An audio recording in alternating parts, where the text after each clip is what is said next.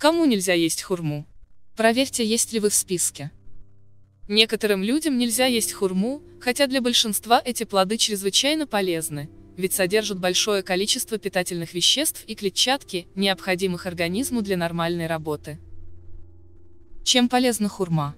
Хурма содержит большое количество питательных веществ, витаминов и минералов, полезных для организма человека. Витамины А, С и В, марганец, йод, калий, полезные растительные соединения. Плоды этого фрукта обладают антиоксидантными свойствами, улучшают здоровье сердца, снижая вероятность инсультов и гипертонических заболеваний, уменьшают риск возникновения диабета, снижают артериальное давление и уменьшают воспалительные процессы.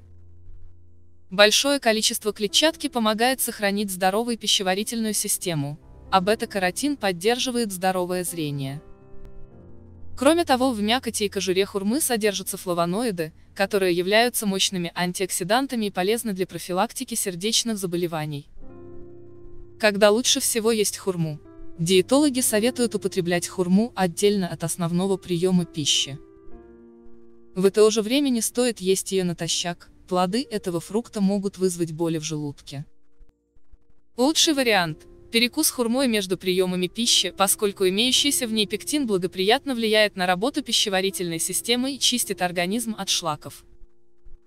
В целом рекомендуют употреблять от 1 до 3 плодов хурмы в день, в зависимости от их размера. Кому нельзя есть хурму? Ограничить потребление хурмы или отказаться от нее совсем стоит. Детям до 3 лет. Аллергикам. В редких случаях плоды этого фрукта могут спровоцировать аллергические реакции организма. Диабетикам. Хурма содержит достаточно много сахарозы и фруктозы, которые могут стать проблемой. Людям с избыточным весом. Хурма повышает сахар в крови. Людям с проблемами щитовидной железы. Хурма богата йодом, людям с расстройствами желудочно-кишечного тракта. В хурме большое количество растительных волокон и танина.